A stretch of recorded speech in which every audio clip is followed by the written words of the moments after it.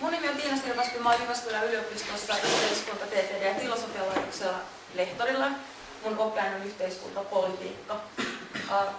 Markku, sanotko mulle, kun mä oon 25 minuuttia puhunut? Joo. Mä oon vähän Kohtuusvaarassa supistuva talous ja hyvinvointi on tarjottu otsikko, jonka mä keväällä viime keväänä hyväksyin. Ja kyllä minulla nyt vähän kävi samalla tavalla kuin Tepolle, että mä kyppisin miettinyt hyvänä aikaa, että mistähän tässä oikeastaan onkaan kysymys. Nyt kun kuuntelin Teppoa, niin huomaa, että, että me eletään hyvin niin kuin erilaisissa maailmoissa käsitteellisesti, mutta kyllä ne kuitenkin leikkaa toisiaan. Et ihan, niin kuin, kyllä mä nyt jotain tunnistin sieltä ja katsotaan nyt sitten, että miten me päästään tässä minkälaista keskustelua saadaan aikaisemmin. Ihan nopeasti on sitten se paneeli vielä, vielä tota, aikaiseksi. Eli kun mun oma oppiaine on yhteiskuntapolitiikka, mä oon alun perin Helsingin yliopistosta ja siellä se sama oppiaine on nimellä sosiaalipolitiikka, niin silloin mun näkökulma tulee sen sosiaalipolitiikka oppiaineen kautta hyvin vahvasti. Ja talous on mulle sitten se vaikeampi asia. Itse asiassa eilen täällä puhuttiin monesta yhteydessä siitä, että, että äh, meillä on vähän vaikeuksia tämän kielen kanssa. Et me, meillä on niin tämä taloudellinen kieli, sitten meillä on ekologia tai ympäristötutkimukseen liittyvä kieli ja sitten meillä on, on, on tämä sosiaalinen kieli, jos me ajattelen kestävän kehityksen ulottuvuuksia. Ja niiden kaikkien pitäminen mukana, niiden kaikkien paradigmojen tai kaikkien puhekehysten pitäminen mukana saman aikaan todella vaikeaa. Ja, ja tota, mä yritin mutta mä en ihan onnistunut, mutta mä, mä kerron sitten vähän lisää, miten se niin kävi. Eli tämä varmaan niin kuin, tämä hyvinvointi ja tämä sosiaalinen ulottuvuus olisi tämä mun leipälaji. Eli mä oon oppinut ajattelemaan sen niin, että talouden perimmäinen tarkoitus ja ainoa tehtävä oikeastaan olisi tuottaa hyvinvointia ihmisille. Ei ole mitään itsetarkoituksellista taloutta, vaan taloudella pitäisi olla yhteiskunnassa tehtävä, että se tuottaa hyvinvointia ei nyt ehkä pelkästään ihmisille, vaan myös sit sellaista tilannetta, jossa ympäristö voi hyvin. Nyt ekologi sanoi, että ympäristö ei voi hyvin tai huonosti. Se on ihmisen konstruktio, se ympäristön hyvinvointi. Mutta siis näin. No talouskasvu, nyt on niin kuin monilla mittareilla osoitettu, että talouskasvun aiheuttamat haitat on, on ylittänyt sen tuottamat hyödyt. Eli, eli voidaan sanoa, että, laajasti globaalilla tasolla talouskasvu ei enää tuota hyvinvointia.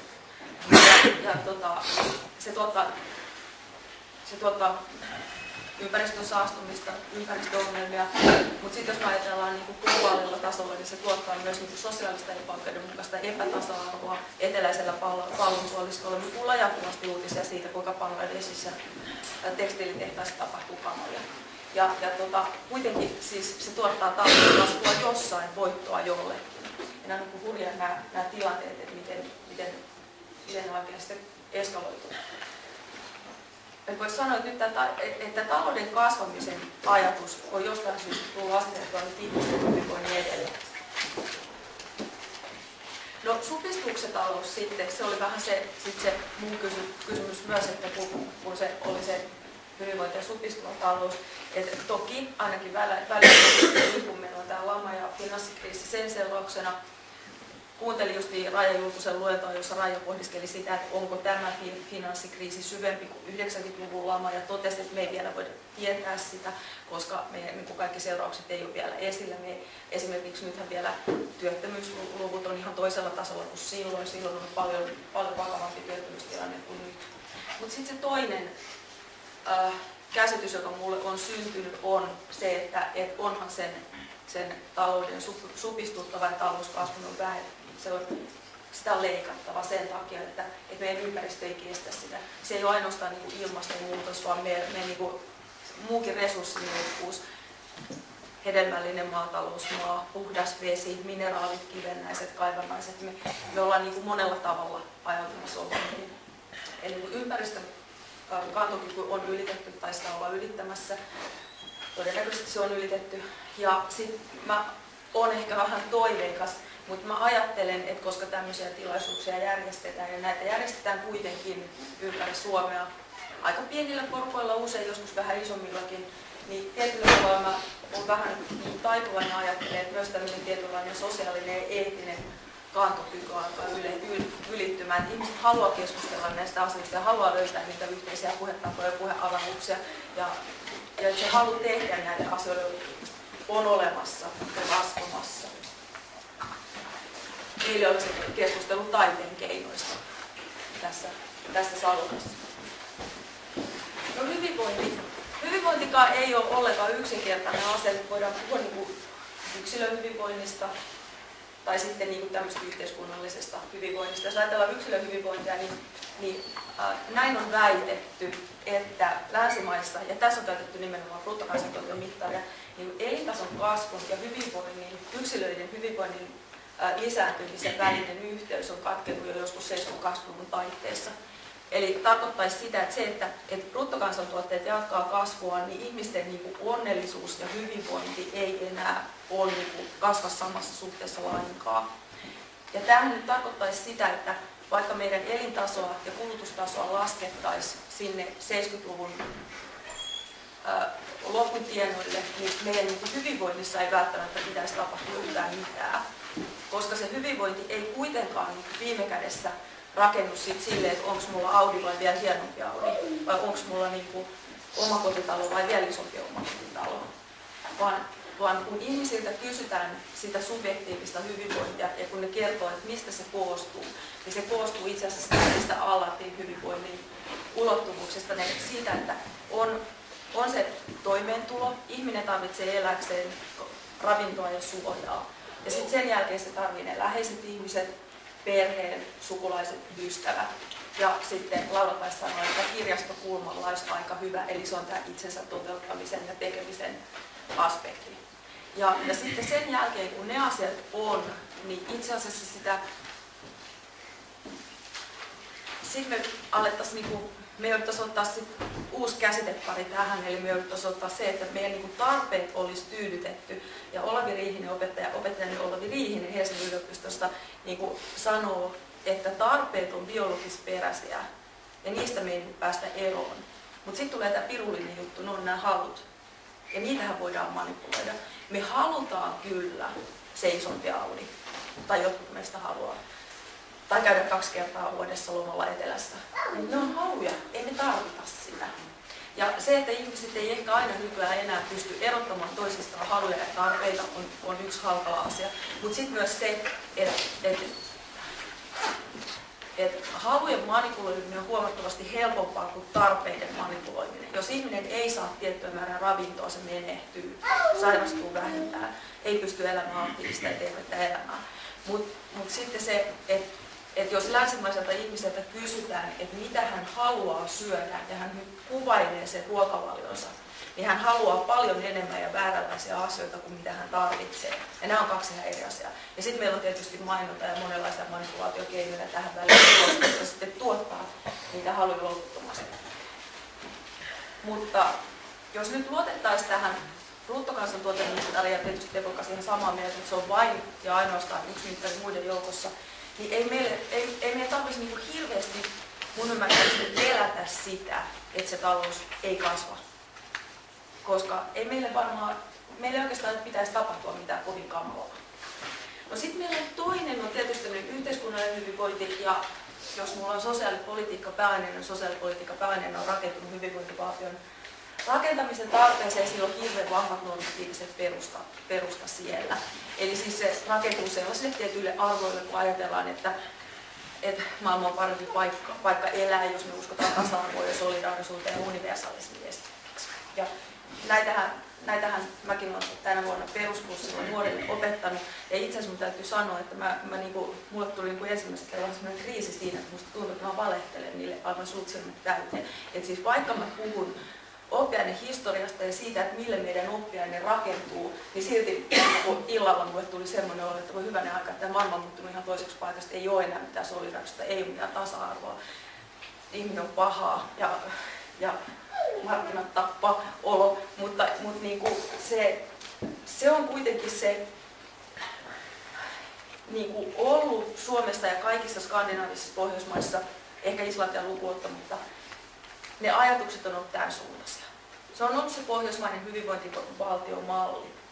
Ja, ja tota, äh, samalla luennolla, jossa jo, tai samalla Raija Julkusen luennolla, johon jo viittasinkin, niin Raija esitti A4 verran semmoisen luettelon indikaattoreita, monia indikaattoreja, kestävän kehityksen, tasa-arvon, koulutus, koulutukseen liittyviä, moni, monenlaisia indikaattoreja, monenlaisia talouteen liittyviä indikaattoreita oli siinä luettelossa. Ja, ja tota, pohjoismaiset hyvinvointivaltiot sijoittu kaikissa niissä indikaattoreissa kymmenen kärkeen. Eli ei tämä nyt ihan huono tämä meidän niin kuin, ajatus tällaisesta yhteiskuntamallista ole ollut. Tämä ei ole ollenkaan huono. Mutta nythän tämä on niin kuin, muuttumassa kovaa vauhtia ja vähän sillä sellaisella tavalla, jota, jota on vaikea hahmottaa. Mutta se, mikä tämän, tämän meidän hyvä, hyvän pohjoismaisen hyvinvointivaltion mallin niin kuin, tavallaan ä, ongelmapuoli on, että, että jatkuvasti niin esitetään ja sanotaan ja hoetaan, että jatkuva talouskasvu on tämän hyvinvointivaltion ainoa pelastusongelma. Hyvinvointivaltiota voidaan pitää yllä vain ja ainoastaan, jos talous kasvaa. Ja se on varmaan just se 3 prosenttia. Ja tämä on mun niin kuin, tämä on vaikea ymmärtää, mutta mä en olekaan taloustieteilijä. Että miten, miksi, miksi sen talouden pitää jatkuvasti kasvaa, jos me halutaan vaan pitää yllä sitä. Jos me ei me haluta niin enää laajentaa tai kasvattaa, että jos me pidetään yllä, niin eikö siihen nyt riitä se sama, mikä meillä on? No meillä tietysti tapahtuu nyt sellaisia rakennemuutoksia, että meidän väestörakennehuoltosuhde muuttuu ja me ehkä tarvitaan joihinkin asioihin enemmän rahaa. Mutta se, se ei nyt vielä mun mielestä välttämättä tarkoittaisi valtavaa leikkauspainetta. Mutta tämä on niinku, tähän mä tarvitsen taloustieteilijöitä, mutta teitähän on täällä monta. Kertokaa miksi pitää kasvaa, jos me vain halutaan pitää yllä. Mutta se mikä on kaikista olennaisinta kuitenkin on nyt se, että, että hyvinvoinnin tuottamisen kannalta ja sitten talouden ja, ja hyvinvoinnin tuottamisen suhteessa on mun mielestä se, että, että se jakokysymys on nyt unohtunut ihan kokonaan. Et sosiaalipolitiikassa tulojen ja varallisuuden uudelleen jaon kysymys on se keskeinen kysymys. Niitä on jaettu uudelleen ja niitä on osattu jakaa uudelleen. Ja nyt, tästä, nyt tämä jakokysymys on jotenkin unohtunut. Eli, eli jatkuva kasvu, talouden kasvu, ei tuota hyvinvointia, jos se ei sisällä minkäännäköistä oikeudenmukaisen jaon tavoitetta. Siis se tuottaa eriarvoisuutta, se tuottaa tuloerojen kasvua ja se tuottaa varallisuuserojen kasvua, mutta ei välttämättä lainkaan hyvinvointia. Koska mä en usko, että eriarvoisuuden ja tuloerojen kasvu tuottaa niin kuin hyvinvointia. Jos ei se tuota sitä sinne ylimpään prosenttiin, joka on kiskonut hirveät rahat itselleen pienessä ajassa, niin ei se tuota sitä sinne sitten sinne alimpaan tulodeeseen Niin eihän se, eihän se, niin kuin, ei se tuota hyvinvointia, se tuottaa päinvastoin pahoinvointia. Et jo, tämä jakokysymys on mun mielestä tämä iso.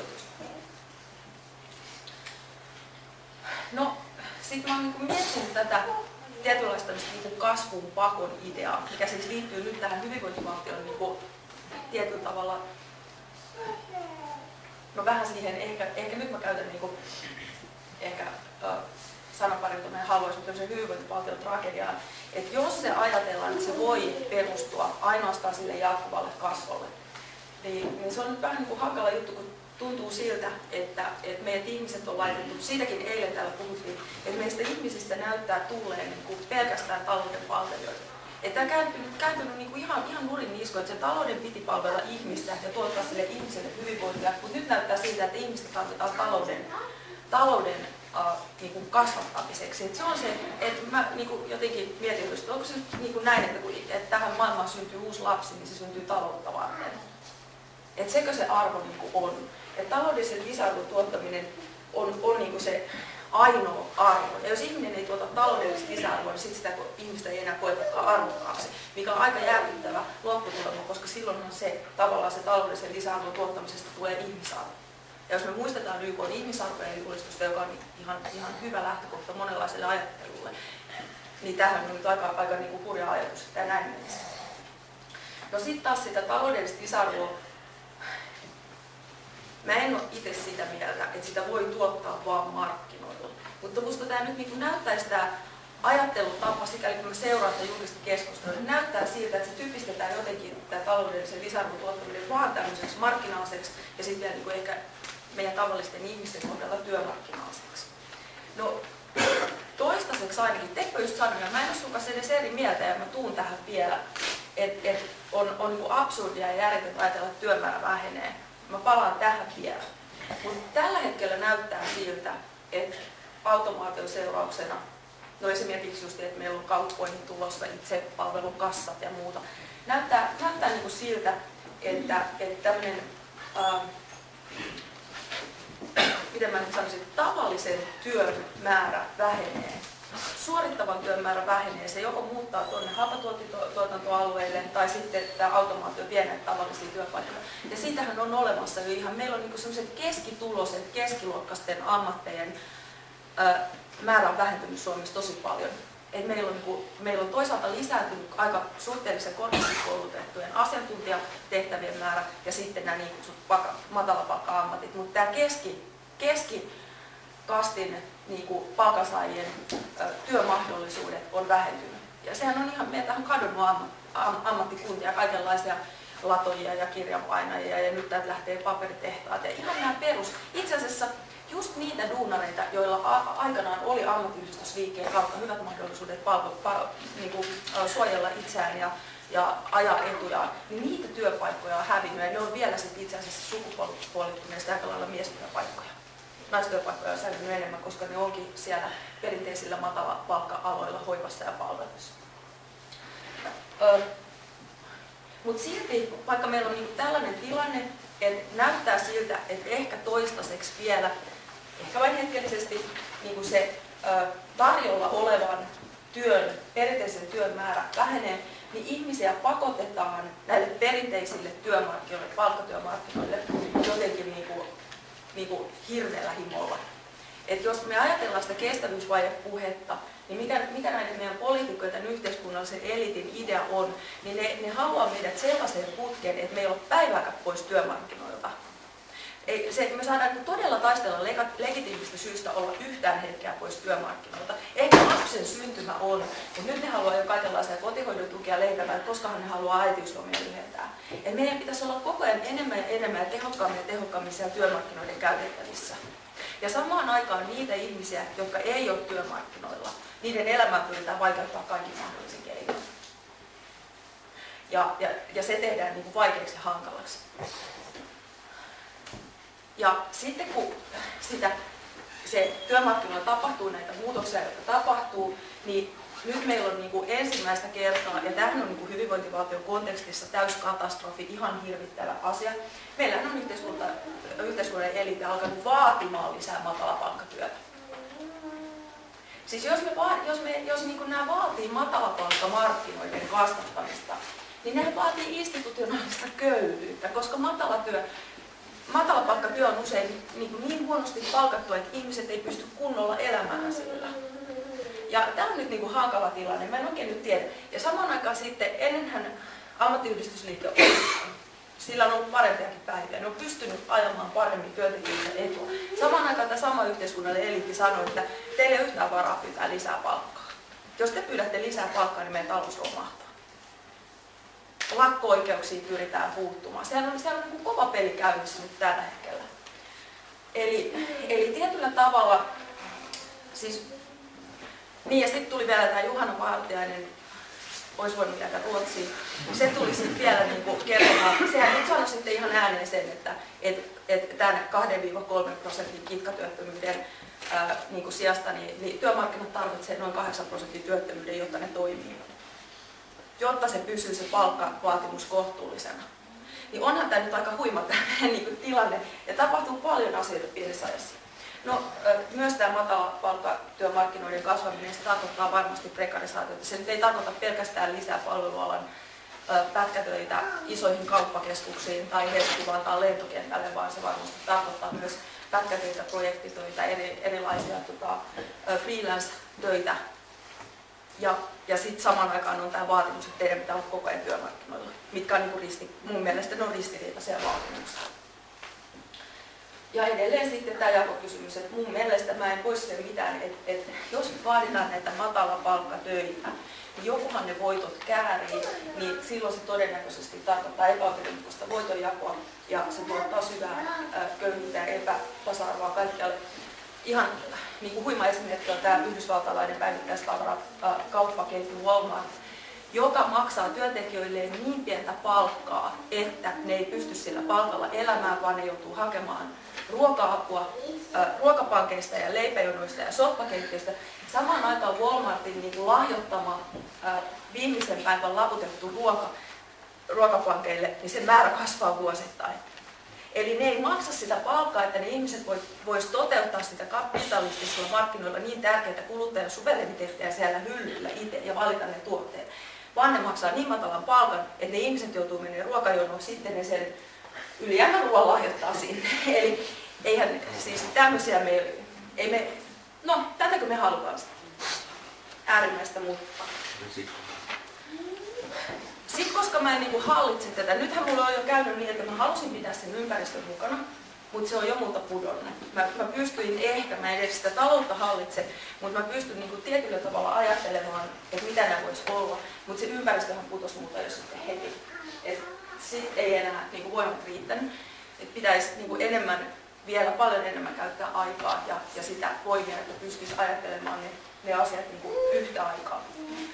Öö, mutta sitten mä kun on, kun on joku tosi vaikea asenne, niin, niin usein kannattaa miettiä jonkun analogian kautta, että mitä tämä voisi niinku olla, mitä tämä voisi niinku merkitä. Tämä oli toissapäivänä vielä hyvä idea, tänään mutta ei ole enää yhtään hyvä idea, miten mä en sanonut tästä pois.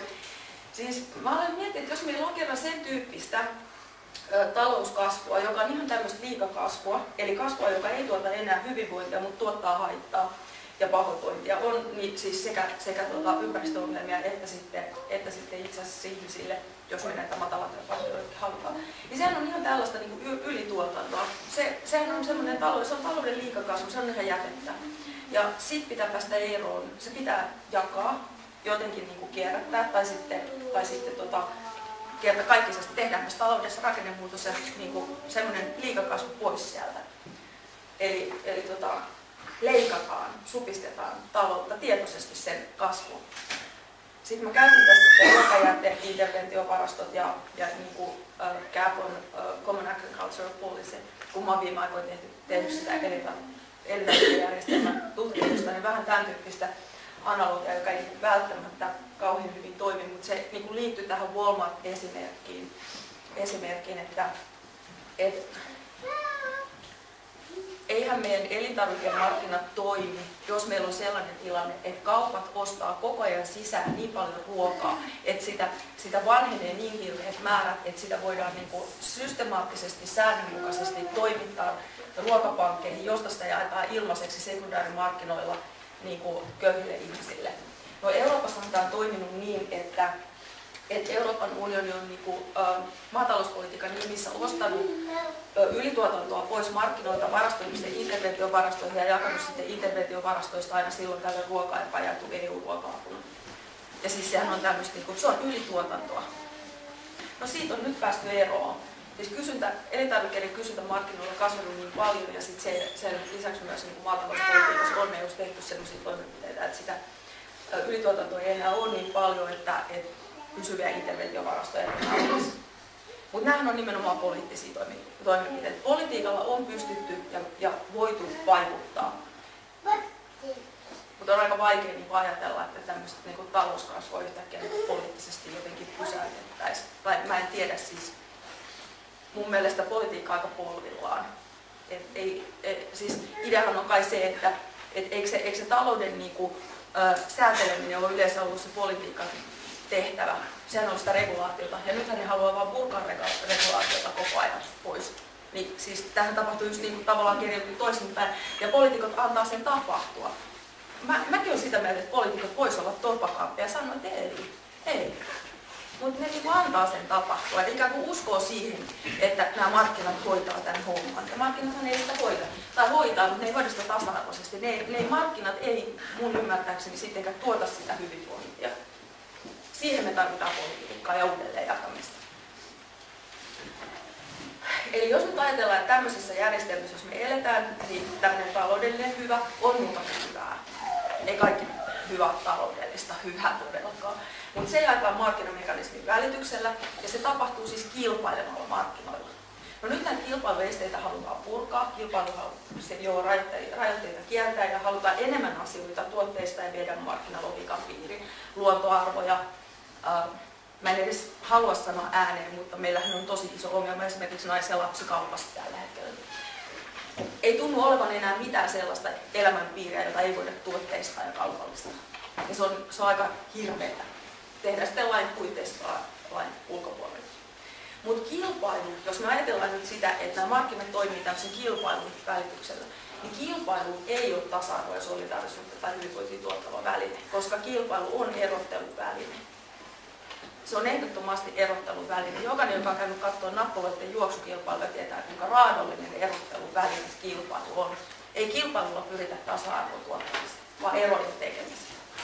Siellä, siellä valitaan pätevät epäpätevistä ja nopeat hitaista ja vahvat heikoista. Ja siis se on kilpailu. Ihan sen tarkoitus. Ja, ja, ja markkinat toimii näin. Ei ne silloin mitään tasa-arvoa tuo. Eikä niiden kuulukaan kai tuo. Vai kuuluukin? Uh, ja sitten jos me ajatellaan... Tiina 10.30. Hyvä. Okei, okay, joo. Eli sitten jos meillä on tämä supistuva talous, niin kyllähän se totta kai tarkoittaa sitä, että et, siis nyt mä puhun siitä, että CRIuksen liikakasvu on otettu pois, että me oltaisiin siellä 70 vuoden, vuoden 70, 70-luvun lopun kulutustasossa. Niin sitten jos mennään sieltä vielä leikkaamaan pois, niin kyllä tulee julma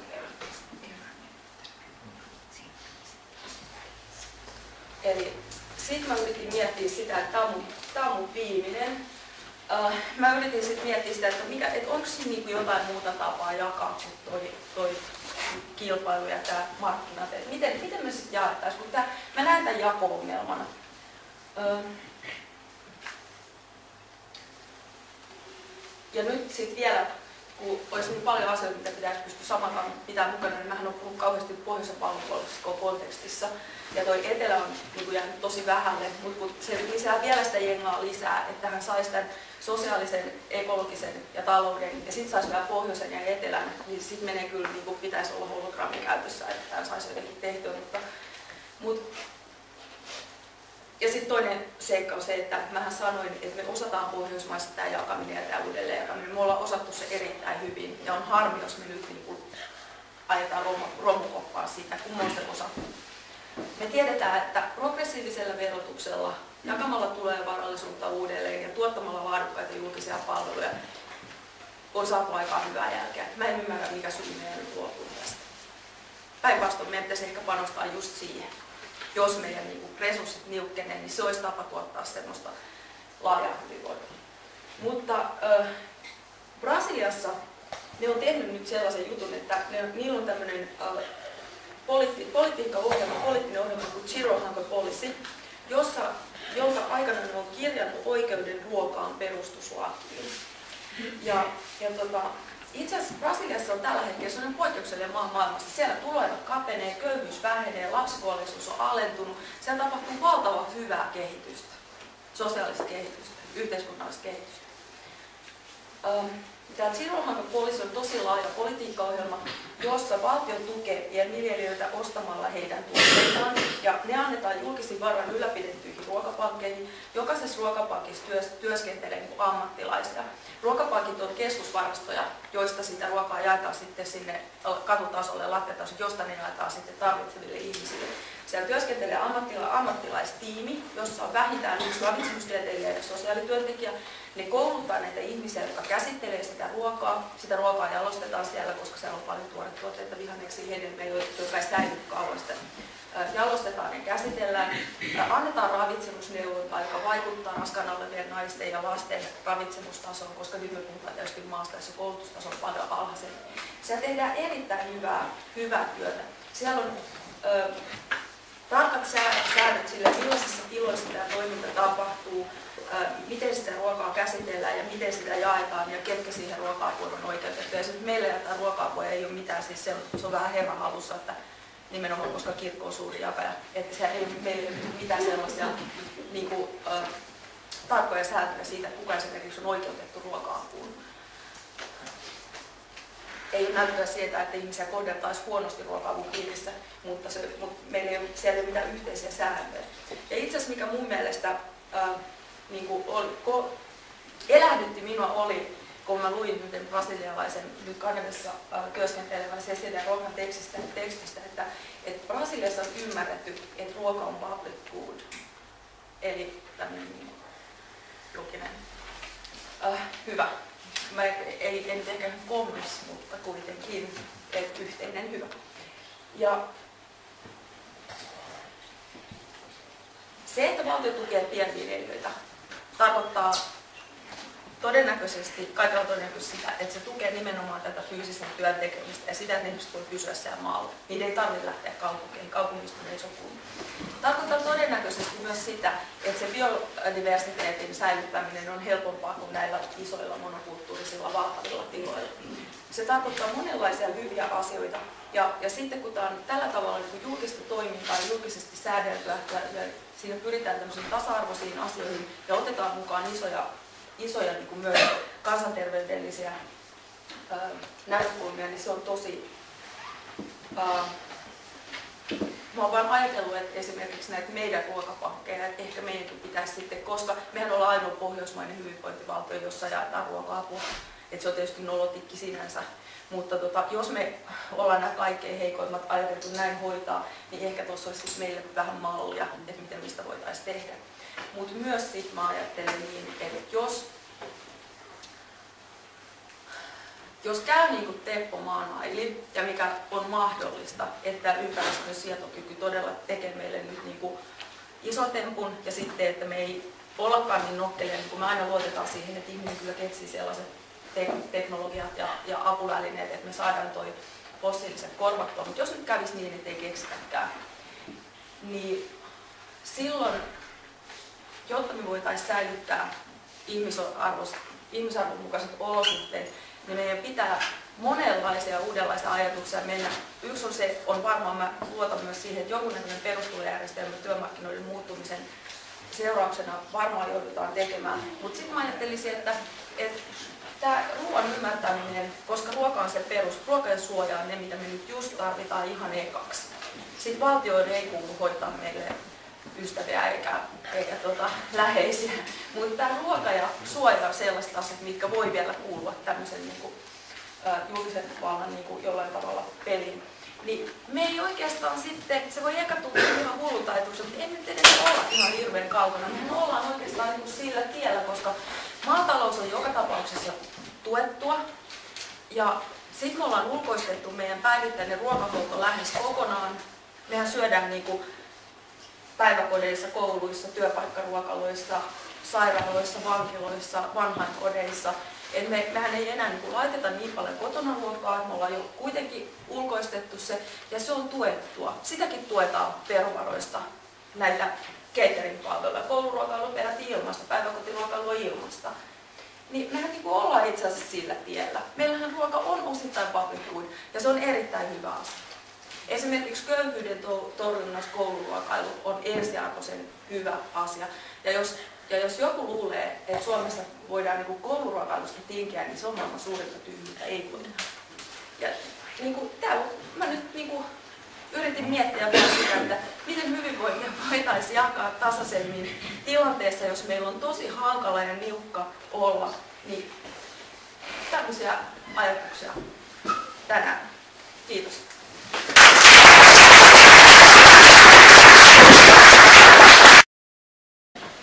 Meillä on ehkä semmoinen, sanotaan 7-8 minuuttia aikaa keskustella, niin pysytään, pysytään aikataulussa.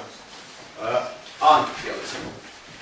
Joo, siis, äh, mä, tässä oli paljon semmoista niin, tavallaan tuttua kritiikkiä sille yleiselle, yleiselle ajattelutavalle, että tota, äh, tällaisessa niin kuin, valtavirta yhteiskunta, yhteiskunnan kehitysajattelumallille ja, ja tota, sitten sit tuntuu niin toivottomalta se, että, että nämä asiat ei tule sitten esille niin kuin, niin kuin esimerkiksi tuolla tv ja, ja muualla. Ja, ja tota, mutta sitten se, niin kuin, että miksi poliittiset puolueet ei ole tarttunut tähän, että miksi perheet ei ole tarttunut tai, tai keskusta, vaikka tällä hetkellä oppositio asetelmasta lähtenyt niin keskustelemaan näistä kysymyksistä, tuntuu odolta. Mä yritin mielessäni jäljittää sitä, että mistä tämä niin tämmöinen käsittämätön kehitys on niin kuin ikään kuin Suomessa alkanut, ja sitten ehkä alkanut, mutta mikä on sitten keskeinen niin kuin kohta, missä me lähdettiin niin kuin, äh, muotoilemaan yhteiskuntaa tähän suuntaan, niin se, oli, se palautui mun mielestä Esko, tai Esko Aho kävi Jenkeissä, se kävi tutustumassa yliopistojärjestelmään, teki sen väikkäriä. Ja sitten sinne meni delegaatioita Suomesta, tutustui Harvardiin ja Piilaaksoon. Siellä oli Himanen sitten, sitten niin kuin mukana ja, ja muutama muu tyyppi. Sitten ne meni valtavan pitkälle meneviin johtopäätöksiin siitä, että miten suomalaista yhteiskuntaa kannattaa kehittää näiden niin kuin kokemusten pohjalta. Ja ne on nyt niitä hallitsevia näkemyksiä, niitä jargoneita, mitä toistetaan tuolla koko ajan. Mietin, että pitäisikö tehdä uusi retki, osittain pakottaa nämä samat ihmiset ja myös vähän muitakin ihmisiä tehtäisiin retki Jenkkeihin, jos käydään vähän muissakin kohteissa. Ja, ja sieltä voisi oikeasti tulla sellainen informaatio, että, että se, se yhteiskuntamalli, mitä sieltä nyt on kopioitu, ja, ja me ollaan tiettyjä osia niin kuin, haluttu kopioida se, että ollaan samalla tultu kopioida niin aika paljon sitä yhteiskuntaa.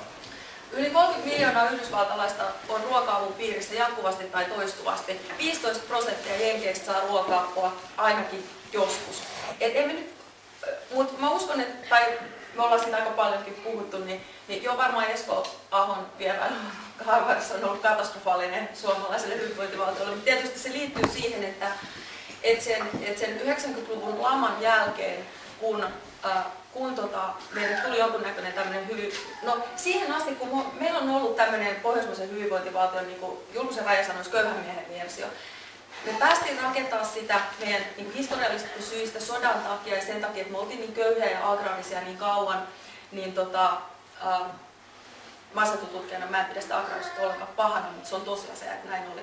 Niin tota, äh, mehän ollaan päästy rakentamaan sitä vasta niin toisen maailmansodan jälkeen ja, ja ehkä oikeastaan vasta 50-luvulla, että 50-luvullakin vielä oli ruokakin kortilla ja niin, että me ollaan oltu tosi hurjassa asemassa. Ja se työ, mikä täällä on tehty siinä niin kuin 50-80, 80-luvun loppu, 90-luvun alkuun asti, on ollut aivan mieletön. Ja, ja siis se, se, se et me onnistu, onnistuttiin rakentamaan tosi hieno ja hyvä järjestelmä, tai he onnistuivat, jotka silloin tästä rakensi. Mutta sitten se lama, niin se ei, me ei koskaan kuitenkaan päästy samalle etuuksien tasolla kuin muissa Pohjoismaissa, vaikka meillä nyt sanotaan, että meillä on jotenkin poikkeuksellisen runsaat etuudet, niin ei meillä ikinä ollut, kun vertas Ruotsiin ja Tanskaan. Ei meidän palvelutasokaan ollut ihan sama kuin siellä. Mut me ollaan, ja sitä paitsi täällä on toimittu hirvittävän tehokkaasti paljon palveluja. Ja jos nyt ajatellaan näitä PISA-tuloksiakin, niin joskus mä en jaksa uskoa niihin, mutta kai on siinkin yksi indikaattori, jossa me ollaan tosi korkealla. Mutta sitten sen jälkeen niin, niin se poliittinen ilmapiiri on kyllä muuttunut ja se on kiristynyt tosi paljon. Ja on tietysti Esko Ahon hallitus, mutta sittenhän tota, sosiaalidemokraatit menivät siihen kyllä mukaan, mukaan sitten. Mä ajattelen sitä kielen kannalta, että se kieli on nyt jostain tullut, joka tekee mahdottomaksi niin järkipuheen. Ja, se mun mielestä palautuu sinne niin kuin Sitraan osittain ja, ja Esko Ja, et, et, ei pelkästään Esko hallitus, vaan, vaan tämä tämmöinen niin kuin, innovaatiopuhe, joka, joka on niin kuin, tänne niin kuin juurtunut tosi syvälle, jossa tällainen älyllinen argumentaatio ei enää ole mahdollista. Niin, niin se, se mua tässä kiinnostaa, koska nämä on varmasti, niin mä uskon tähän mitä sä sanot, mutta mä tiedän samalla, että ei tällä ole mitään vaikutusta. Niin kuin, että siellä on se jargoni jatkuu vaan ihan samanlaisena ja, ja tota, miten me päästään siihen jargoniin niin pureutuu ja se jotenkin keskeyttää, niin se on siinä kysymys. Joo, nyt tuota, yksi kommentti, kommentin jakoperuste mahdollisimman pohjoinen asuinpaikka, eli Sini. Mä nyt yritin kirjoittaa tähän näin, mitä mulla on tullut mieleen, että mä sanon tässä. Ö, ö, ensinnäkin siis tuo Antti mitä sanoi. Minä, ehkä minä olen lukenut vääriä tekstejä, mutta mulle taas on tullut se kuva, että miksi Suomi on menossa nyt tähän suuntaan Eli minä olen kyllä just sitä EU ja Brysseliä, että se on se helvetti, tai jos Helsinki oli se helvetin esikartano eilisiin puheisiin.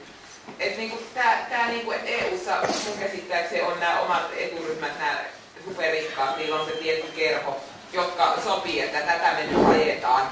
Ja sitten se syötetään muille tavallaan. Et mun, mun, mä oon ymmärtänyt, että se johtuu tässä EUn niiden pyöreiden pöytien muiden, niin kuin, ja minkä takia alkuja EUta ruvettiin rakentaa nämä hiili, hiiliyhtiöt sun muut. Mä oon ymmärtänyt pienessä mielessäni, että se johtuu siitä, että se, se on tulee... seurausta siitä 90-luvun alun. Se lähti silloin poliittinen ja taloudellinen eliitti lähti silloin Esko Ahon hallituksen aikaan tähän luonnollinen jatkumo. Mutta silti, että se EU on pohjimmiltaankin tällainen raharikkoja ja muu hanke. Ja että nyt me niin syötetään sitä tänne. Ja mitä Eskelinen puhuu, niin mä taas ymmärsin, että Eskeliseltä tuli vähän se kuva, että haluaisi, että oma raha pitäisi palauttaa, koska sanoi, että tämä rahapolitiikka Suomessa pitäisi olla oma, oman niin kuin, hallussa ja näin keskuspankki, että me ei voida toimia valtiona niin kuin, yritys, että ostetaan yksityispankkeilta kalliilla korolla sitä rahaa. Eli se oma raha pitäisi palauttaa, jolloin me ainakin, jos me erottaisiin EU-sta, niin meillä pitäisi erota ainakin eurosta, jolloin me pystyttäisiin hallitsemaan sitä. Ja sitten, sitten tämä, että miksei nämä kohtaa, niin tämä on minusta erittäin hyvä, että Suomessa tämä koulutusjärjestelmä tämmöinen, että ei ole niin kuin Amerikassa just, että vaan rikkaat voi mennä johonkin ökyyliopistoihin, ellei saa niitä stipendejä tai jotakin, että köyhät. Meillä on kaikki samalla tasolla, että me vielä toistaiseksi voidaan kohdata tällainenkin maalainen persaautinen jo, jotain niin kuin ylemmän luokan porukkaa ehkä samassa koulussa. Koska yksikin mun kaveri sanoi, joka on niin kuin paremmista piireistä, mutta koulussa oltiin samalla luokalla. Ja oli just puhe, että miten niin kuin ne maailmat on ihan erilaiset. Sanoi, että hän, hän ei niin kuin ikinä tullut ajatelleeksi jotain tollasta. Se oli itse Etelä-Suomesta ja itse on Pohjoisesta. Että miten voi olla niin kuin lähtökohtaisesti jo se ajatusmaailma ja se pohja niin erilainen, että meillä Suomessa on niin monenlaisia jo maailmoja Suomen sisälläkin, että ei nämä Nalle Valkoiset ja Kataiset ja nämä, niin ei ne enää ymmärrä, mitä se on niin kuin vaikka täällä Polilla joku maanviljelijä tuolla tai pienyrittäjä.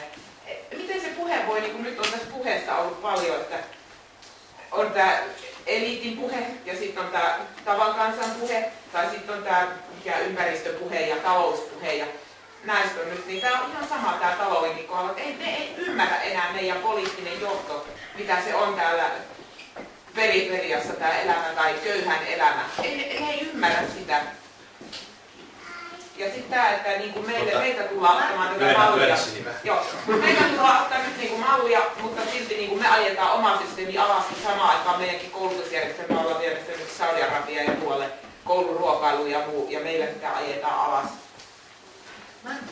Tuota-. Mitä? Kaksi sanaa.